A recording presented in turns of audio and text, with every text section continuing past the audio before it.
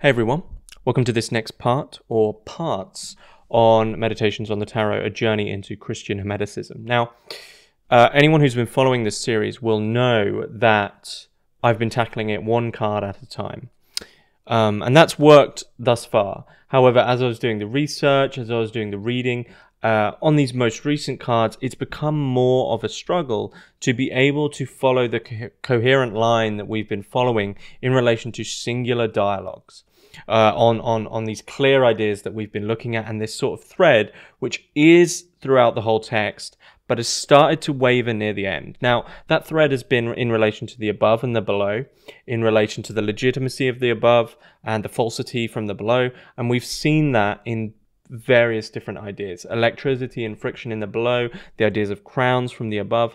But as we hit card 15, uh, which was the devil, coincidentally, you may have noticed that the a lot there was there was a lot less sort of content coming in because actually anyone who's reading this book's realized that after this card the, the the whole tone, the whole style of the book really changes. Now, I've done as much research and looked in all the places that are available to me to try and find out why this could be, but the history behind this book is fairly odd anyway. I mean, we're we're fairly certain, even though it's generally often published uh, as anonymous, uh, many places now will actually publish it under uh, Valentin Tomberg, who we pretty much know Valentin Tomberg wrote it. Now, the story goes that Valentin Tomberg was writing this. He died, and he he said, "Look."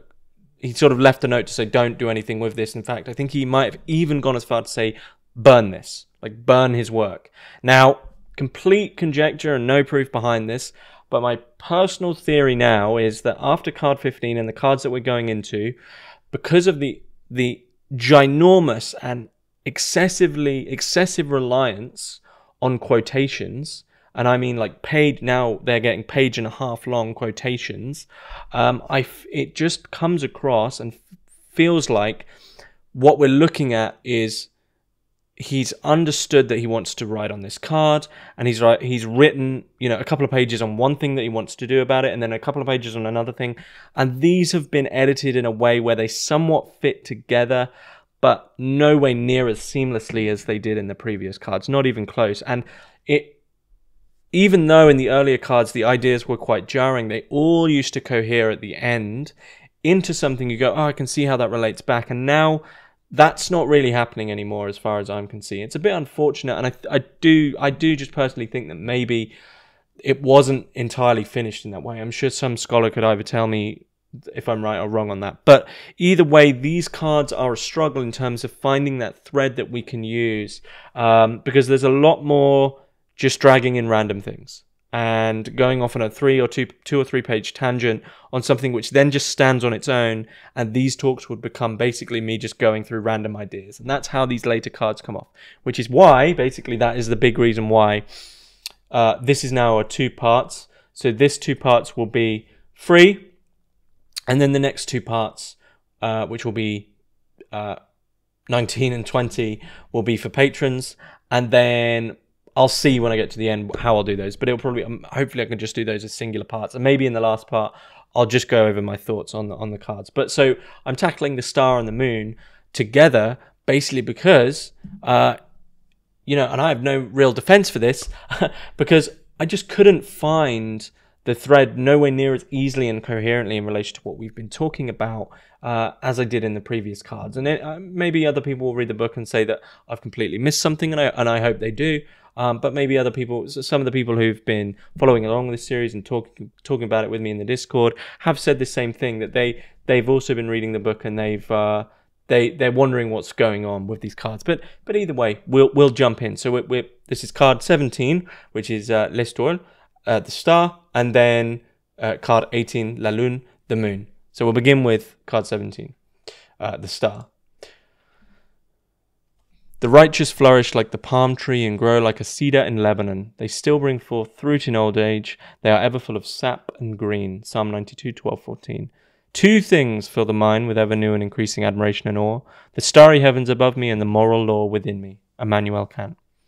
So the previous card uh, showed that there is a decision between the alternatives of construction and growth, the difference between uh, the construction from below in relation to the Tower of Babel and the growth which is legitimately afforded to us from above. So now this has been understood, we are given this decision upon our way of growth, and this card, the star, is a spiritual exercise devoted to growth. For instance, um, a tower like the Tower of Babel, is built bottom up, uh, upwards. You know, that's the whole point of the Tower of Babel story is that people of the below were trying to build a tower upwards to get to heaven, but that can never be. I mean, that's just not how it works anyway. But they're, you know, they're, they're trying to invert the relationship of legitimacy.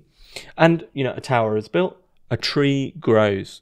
And they both have a tendency to go upwards and increase in their size, but the tower for the author. It rises in with, with leaps and bounds by these artificial jumps, while the tree grows in a, in a continuous slow elevation. The tree itself multiplies through a division and growth with respect to its cells, whereas the tower is built by heavily putting bricks laboriously atop one another in this very jarring building process. The growth of the tree uh, is possible because its roots are embedded in the trunk and the branches. It's deeply rooted in, and it, and it shoots up in a multiplication. Okay, but the tower, the ultimate difference between these two is the tower is dry, and the tree is filled with sap.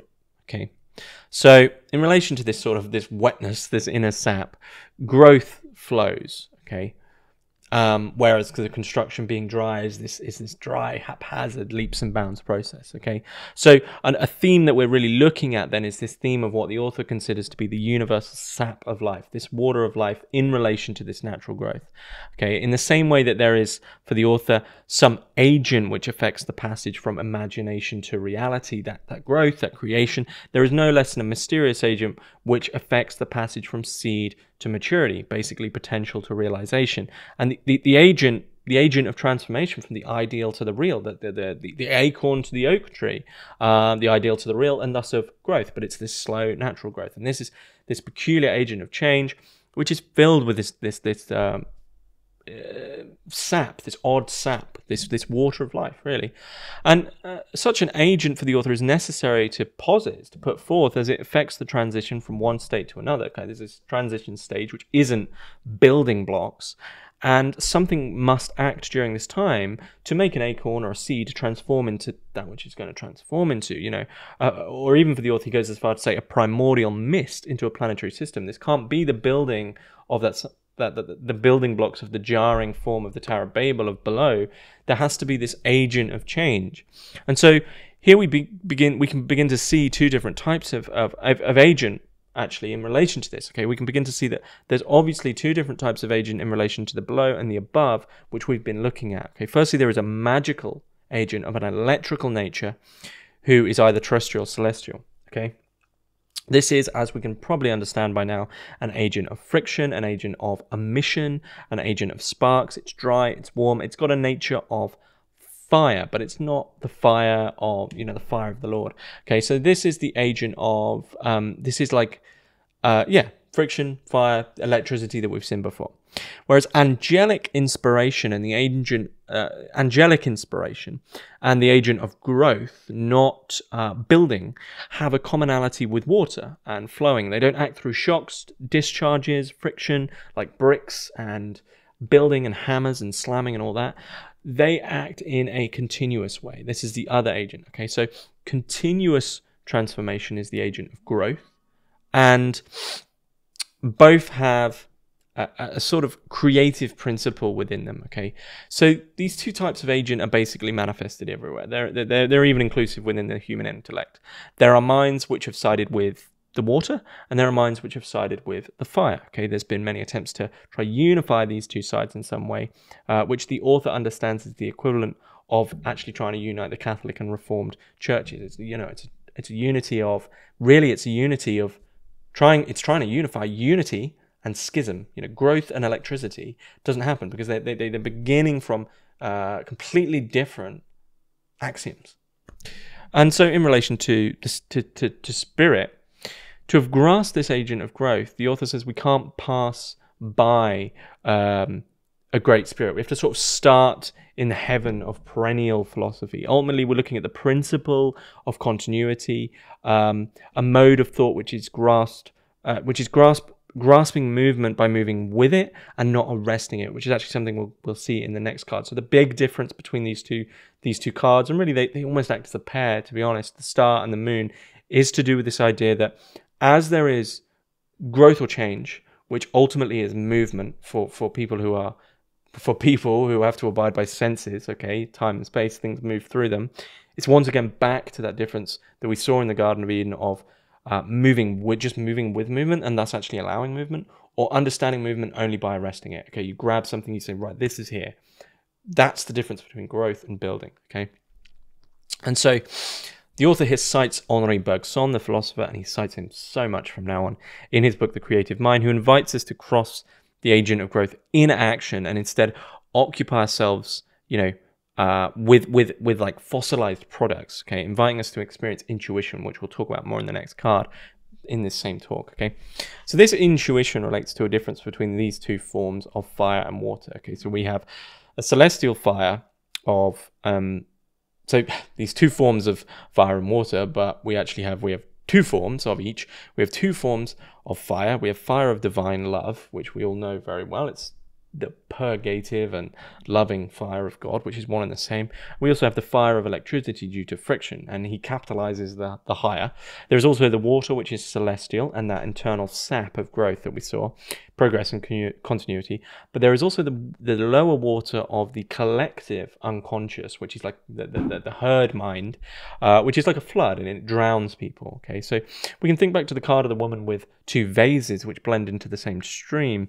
Uh, this is the tragedy of human life, because one can see if they, they think of these two forms of water, this is really really the tragedy of this human life. Is is in a form of blending in that way. Okay, and so we we're seeing again uh, a dualism between a yes and no once again back to that section in matthew you know is it going to be a yes or a no um, and i guess in relation to abiding by the continuity and allowing allowing movement to be movement as you move with it to move with it uh, is is the difference between choosing the movement or choosing the act of grasping, okay, uh, and growth in terms of fossilization or allowance of movement, okay.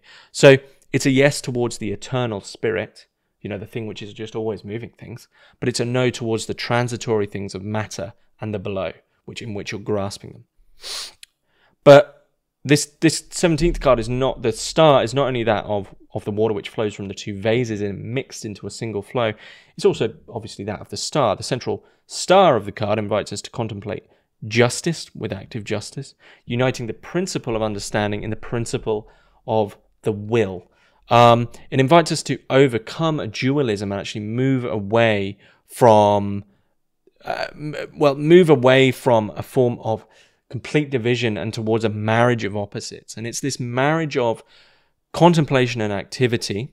You know, contemplation and activity is effort and grace in a way, the antithesis and the thesis with respect to the idea of hope. So between this marriage of opposites in this synthesis is an idea of hope. Okay, hope then is taken objectively in relation to the general concept of light in relation to a star, and this hope then moves spiritual evolution within the world and so far as it moves it, it is objective. It's it is the, it is the hope which moves the thing itself, and it's not in that act of grasping. And insofar as it orientates the movement in the world, it is subjective because it's in relation to the will. But once again, it is hope only in that combination of contemplation and activity. So it's like an activity of passivity in relation to something higher. So in this sense, hope becomes the final cause of the world, the, the, the, the force and the light of the ideal of the world. Okay, it is Hope then that brings forth a unity, which is the aim of the spiritual exercise of this card. Okay. So the essence of the spiritual exercise then is to contemplate biological growth and the essence of spiritual growth together, to contemplate growth and hope in order to find their kinship, okay, searching for the essence of water which flows with respect to growth and coming to an intuition of this water with respect to the idea of parting of the seas, okay. So um, there's water which flows with respect to that personal spiritual growth, but there's also the water in relation to the idea of the parting of the seas, which is, of course, is something so much more, something, something so much higher, something that needs to be allowed, and it's in relation to intuition which this comes about. Okay, so it's necessary to obtain an intuitive perception that the principle of this internal uh, internal sap, this internal water, and the principle of hope are one and the same. Namely, they are the principle of the water, the transformation of both these things is in conformity with the divine. Okay. Um, and in this sense, it acts in a sphere which is above consciousness, and, and this sphere will actually become more articulate. Uh, hopefully, I'll be able to articulate it better when I talk about the next card in a little in a little bit. Um, so, while the agent of growth in biological evolution acts in the sphere beneath. Okay, so there's these two things which is once again that sort of compulsion and understanding that things have to be worked out in the worlds that we are given, but at the same time, to solely work in the below and thus just go with that is that act of grasping. And so you have to work in that world with your human will and your human senses, but you have to allow them a relationship, an intuitive relationship with something higher, something legitimate, a sphere above, as the, the author is saying, which allows the continuity to not just be of yourself and not just be of the below. Once again, a clear difference between like a friction, a, a building, and a growth. But then that growth has to like imbue itself within the human. Okay, so that's in in in, in this way. The two truths, because they're true with, with respect to their own domains, aren't they, of science and religion, uh, is a marriage of contradictions. Okay, it's a marriage of opposites, but they're no longer no longer contradictory because they bear a single message of hope in a synthesis of salvation.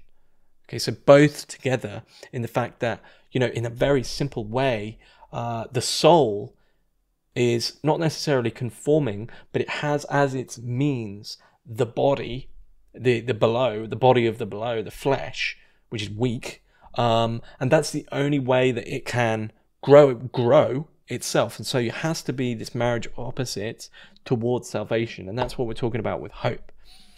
Um, but in looking at these two sides of things, um, you know, salvation on one side and almost evolution on the other, the above, the below, we go back to the idea of um, divine magic and the human will, or divine magic and arbitrary magic. And we realize that, that, that there has to be a difference in a way between um, arbitrary magic and what we understand to be miracles, right? That, that clearly has to be because we're talking about evolution would be arbitrary magic, the human is building something, and um, salvation would be miracles, something coming in from the the the above, but we don't really have a say in that. Whereas, um, so what we're looking at in the sense of a miracle, the action of the forces are removed from the human will. Okay, it's uh, it's indifferent to the aspirations of the of the human will and lends its power to the realization of that higher those higher forms that we're talking about those higher forms that you're giving yourself over to in the pursuit of salvation and hope okay so it's it's the sense that a miracle is um, indifferent to the human will but it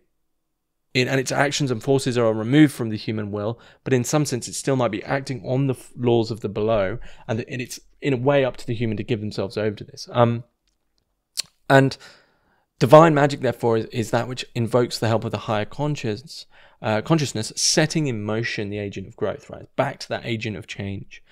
And neither science nor personal arbitrary magic can, of course, perform miracles, okay? They only set laws against one another, like we've seen in that sort of cause and effect way. And they, they just always reduce to the, the below. And in the act of knowledge, then, science only proceeds in the visible moment from the invisible causes so the, the agent of growth is really from the above. So science does the empirical thing, but it doesn't actually know the causes, they're invisible. And so in its act of realization and experimentation, the results proceed from there from the invisible forces to a visible moment. And so science is this circle, it's a snake eating its tail because it never really forms a relationship with the above or even allows the above. Okay, you have these invisible causes, it never questions them. It experiments and does tests from the invisible causes and has visible results. And what does it do? It does what I was talking about right at the beginning. It grasps those results and considers them to be the absolute truth as opposed to the actual growth motion, which is pushing them forward. Okay, so the circle's closed in science. It doesn't want to open itself to something higher and it conflates truth uh, with the thing that it's captured. Um, it's ultimately a prison, okay, a captivity for the spirit. Okay.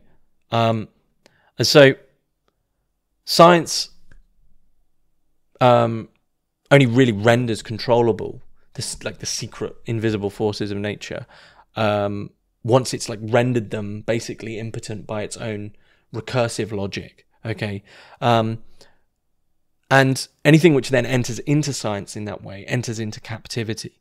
Um, it's a false eternity of the blow because it's a snake eating its tail. Okay. So this closed off circle is it doesn't have a door anymore as when we looked at the open and closed circles before. So when christ says i am the door he's ultimately proclaiming that there is an exit from every closed circle and from all the spirit that's ever been captive you know. John john 10 9 i am the door. If anyone enters by me he will be saved and he will go in and out and find pasture is basically that there has to be once again that synthesis that we spoke about where the below i mean we have to work with the below but it enters firstly into a relationship of almost like a, cosmic spontaneity where it allows, and in, in that sense, it has a door, and thus it begins to form a relationship with the invisible, and that's actually being able to understand the visible properly.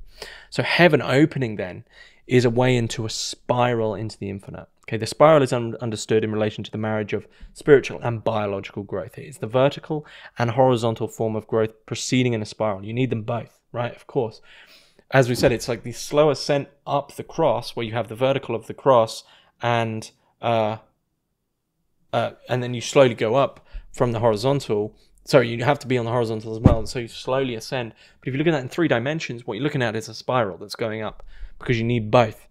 Um, so, um, the star basically is the agent of growth. It's a principle of this um, spiral spiralatic evolution in the sense that it engenders the spontaneous light of hope forthwith, reflecting it in the flowing waters of below into biological forms of growth, and then realizing that spiral. And that's what the light of the star does. And amidst this idea of fairly simple idea that the light of the star is reflected in the waters of the below and thus is imbued into biological life.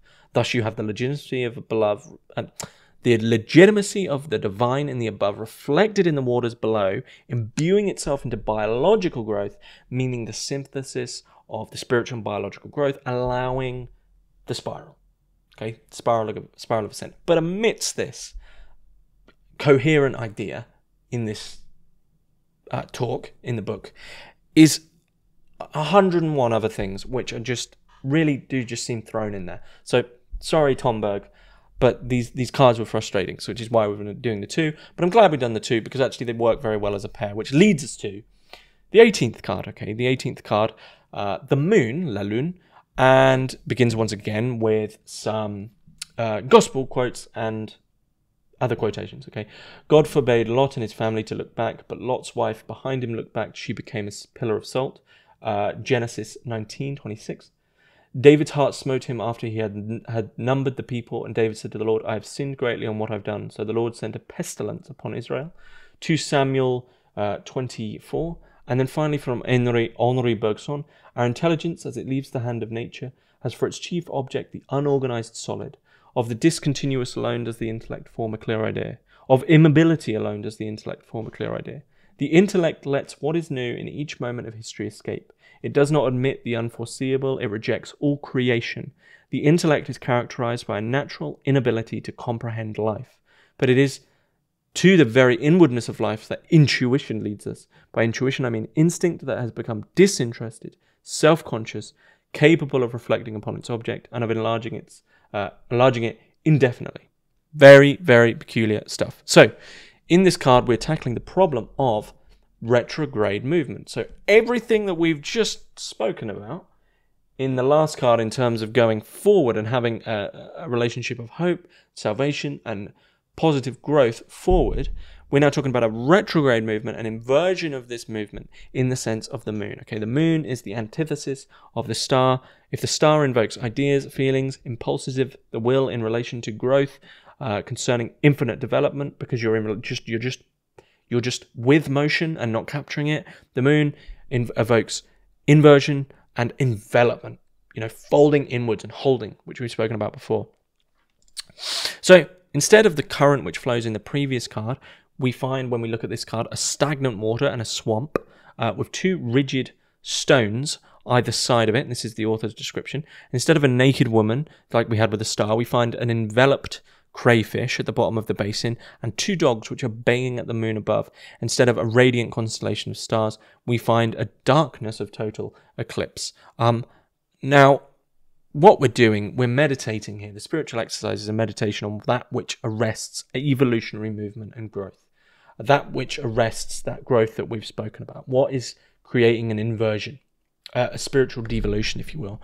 The purpose and point of the eclipse as a, as a symbol uh, for the author is that uh, it would be present, it would exist and active on all of us, even if the devil and all his demons uh, stopped stopped doing what they're doing. Okay, it would be present after all lessons are learned. It would still be there. Okay, the, the very the very essence of an eclipse is that it's eclipsing everything. Um, it is always going to be opposed on us by its very definition, by the fact we exist. The moon is the principle of reflection as it reflects the light of the sun, so too does human intelligence reflect the creative conscience. Okay, so um, what is happening with this reflection of the moon in eclipsing us? Uh, you can think of eclipses, you know, covering, smothering, veiling, holding. What is really happening with the light of this reflection being reflected about, and thus coming down in the same way the stars does, stars do, but it's also it's also stopping the light, right? Is entering our intelligence only into materialistic intellectuality, and thereby entering our creative endeavors of the below only into materialistic intellectuality. Which is to say uh, that from the last card, one of those possible synthesis sides of the growth is ripped out. Okay, so in relation to this idea of light, uh, reflecting light, the cards that we're really talking about the sun, the star, the moon, and the sun are above intelligence, creative consciousness, and we're asked to think about what the, the the, the state of intelligence would be. This is a big question, really, especially in relation to all the Bergson stuff he mentions. What would the state of intelligence for man be if he was deprived of the environment of the material world?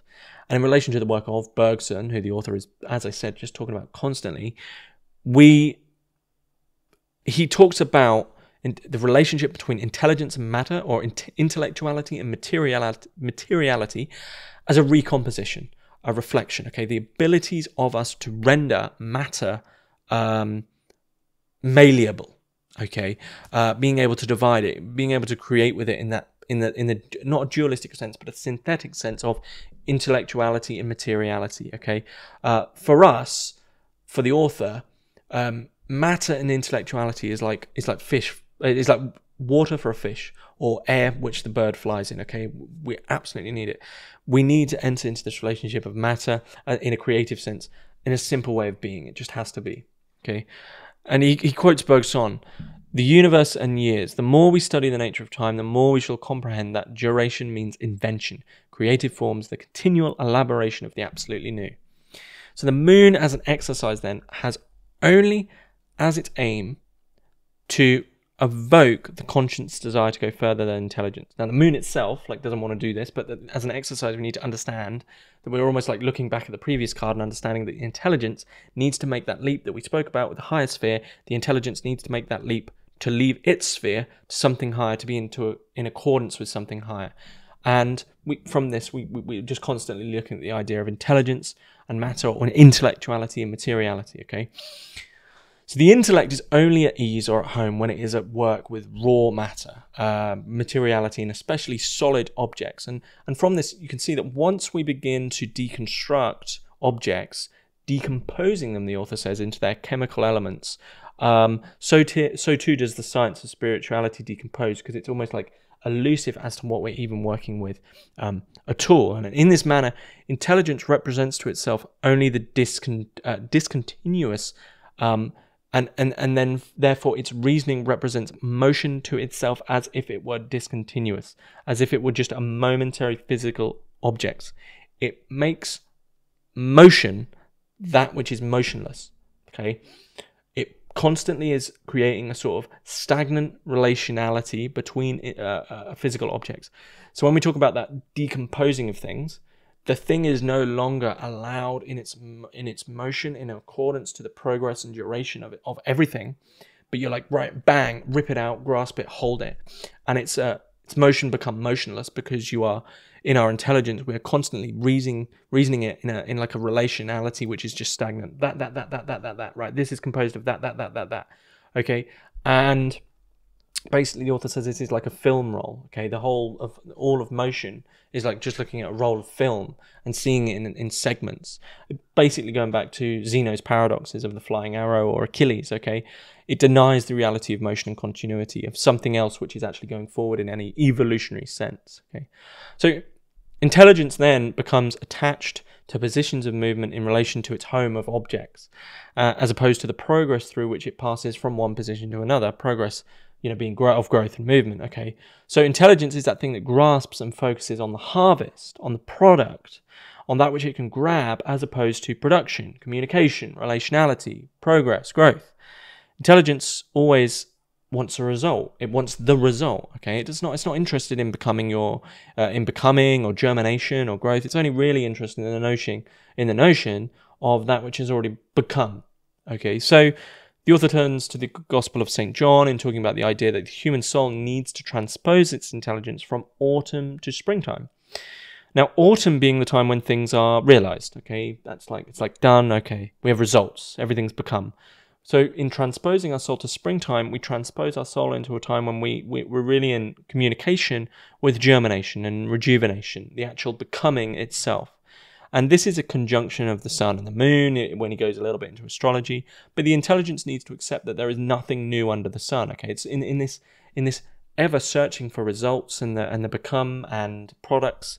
It's almost like tempting to find something new, and it needs to adapt itself to pure and simple creativity, which is expressed by this metaphor of spring. Because in its original sense that we've been talking about, intelligence enters into a natural incomprehension of life. Okay, it can't understand the word, capital W, the word of the Lord, which is at the heart of life, which is in relation to creativity, creation, and springtime.